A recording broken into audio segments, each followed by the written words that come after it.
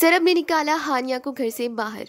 हानिया की जान है खतरे में। कल इस टीवी शो डारिया के एपिसोड में जैसा कि हमने देखा कि सरब की माँ हानिया के खिलाफ ऑलरेडी आधे अधूरे सबूत बना चुकी थी। उन सबूतों को देखकर सबको यही लग रहा था कि महर की किडनैपिंग हानिया ने करवाई थी। हानिया सबके सामने चीखती है, चिल्लाती है, सबको सच बताती है, लेकिन जो सबूत सबके सामने दिखाया गया उसके बाद किसी को भी हानिया पर यकीन नहीं हुआ। सरब भी कहता है कि उसने कभी नहीं सोचा था कि हानिया उसे धोखा देगी। गुस्से में सरब घर से हानिया को बाहर निकाल देता है। आधी रात को हानिया इधर उधर भटक रही होती है। अब ना तो सरब के घर वाले उसे एक्सेप्ट कर रहे हैं और ना ही हानिया के घर वाले उसे एक्सेप्ट कर रहे हैं। हानिया रास्ते में होती है कि तभी कुछ लोग रोप्स के साथ आते हैं अपने चेहरे को छुपाकर। वो हानिया पर हमला करना चाहते हैं। अब इनमें से एक तो सरब की माँ है जिसका साफ़ साफ़ चेहरा नज़र आ रहा है। सरब की माँ हानिया को बांधती है और साथ ही हानिया पर हमला करती है। वही सरब को हानिया की फ़िक्र होती है।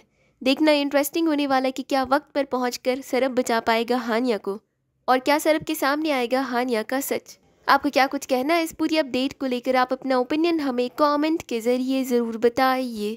और साथ ही टेलीविज़न से जुड़ी सभी लेटेस्ट अपडेट के लिए सब्सक्राइब करें हमारे चैनल को।